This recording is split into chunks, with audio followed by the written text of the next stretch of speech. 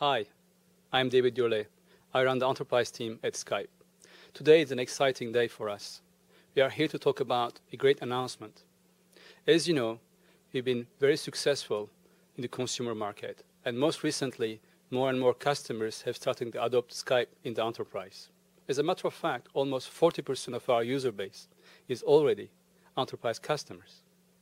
But they've been asking us some new capabilities that we are very pleased to talk about today. That's about web and audio conferencing. Rather than build technology just on our own and take longer to market, we decide to partner with one of the great market leaders in web and audio conferencing. So I'm very excited and pleased to talk about Citrix and Skype partnership today.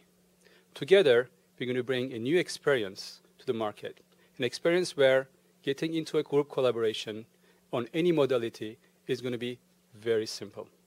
To talk more about that, let me hand over the microphone to Brett Caine, a friend and also the president of Citrix Online Business. Brett?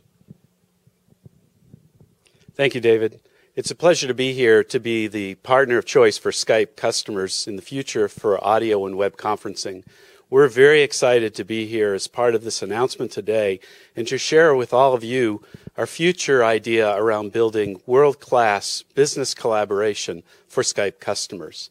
Everyone knows and loves GoToMeeting, and GoToMeeting is the only web conferencing service provided in the marketplace that has gained market share in the last three years.